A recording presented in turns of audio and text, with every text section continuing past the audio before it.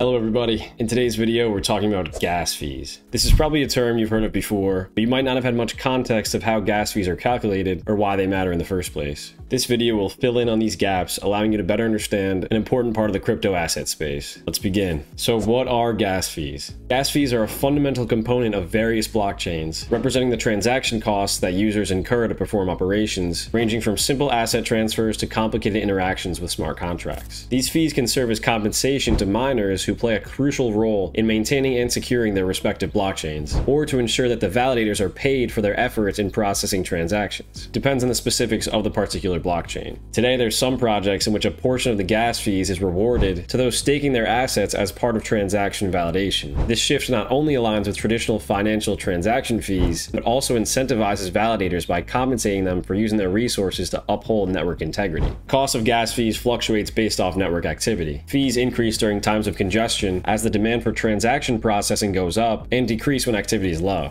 This system of variable fees helps to manage network load, ensuring that validators are adequately rewarded while maintaining efficient network performance. How are gas fees calculated? Using two principal factors, gas limit and the gas price. The limit captures the maximum amount of computational effort someone thinks a validator will extend for a transaction, acting as a cap on the total allowable work. Gas price is the cost per unit of this work. Overall cost of a transaction is determined by multiplying gas limit by gas price. Users can opt to leave tips with their transactions, which are sums added on top of the gas price.